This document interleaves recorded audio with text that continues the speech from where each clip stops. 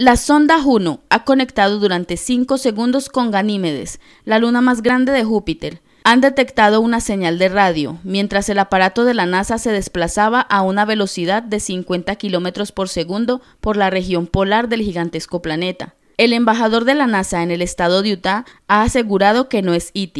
La señal no se debe a ningún extraterrestre, sino que tiene una explicación natural. La emisión de radio fue provocada por electrones, que oscilan a una velocidad menor de la que giran, lo que hace que amplifiquen las ondas de radio muy rápidamente. El proceso se llama inestabilidad del macer del ciclotrón. Los electrones que generan la señal de radio también pueden causar auroras en el espectro ultravioleta lejano un fenómeno también observado por la cámara en Juno. Los expertos llaman a esta amplificación una emisión de radio decamétrica, como si durante unos segundos Ganímedes hubiera funcionado como un Wi-Fi. El presidente incitó a una rebelión contra el gobierno de Estados Unidos, que mató a cinco personas y amenazó con impedir el traspaso constitucional del poder, señaló el alcalde neoyorquino Bill de Blasio en un comunicado. La ciudad de Nueva York no va a estar asociada de ninguna forma con estos hechos imperdonables y vamos a tomar medidas inmediatas para poner fin a todos los contratos con la organización Trump, añadió el político demócrata.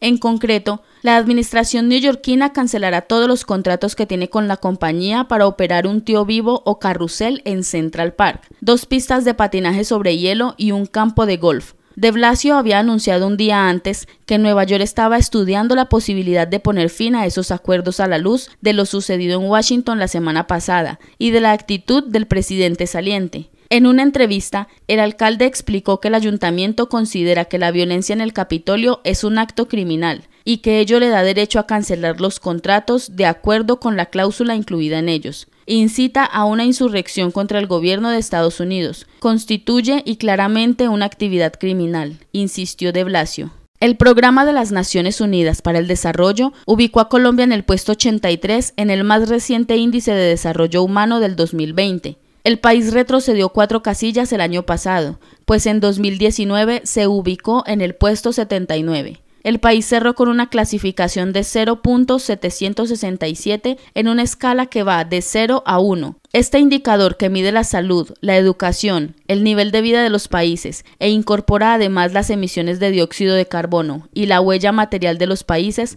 muestra en cómo se proyecta el territorio nacional en materia de bienestar a los ciudadanos, como integridad del planeta, el administrador del Programa de las Naciones Unidas para el Desarrollo destaca que tal y como se revela en el informe, ningún país en todo el mundo ha logrado alcanzar un desarrollo humano muy alto sin ejercer una presión desestabilizadora sobre el planeta. Sin embargo, podemos ser la primera generación en corregir el rumbo. Esa es la próxima frontera del desarrollo humano. Aunque el informe destaca que Colombia debe trabajar en el indicador de salud y nivel de vida, también advierte que el país cuenta con la mayor biodiversidad del mundo, por lo que tiene un papel líder a nivel regional y mundial en la gestión ambiental y el liderazgo en el cambio climático. También destacan en este renglón que Colombia ha elaborado planes detallados para reducir las emisiones de carbono en un 20% para el 2020, principalmente mediante la reducción de deforestación, que también protege la biodiversidad y las cuencas hidrográficas naturales.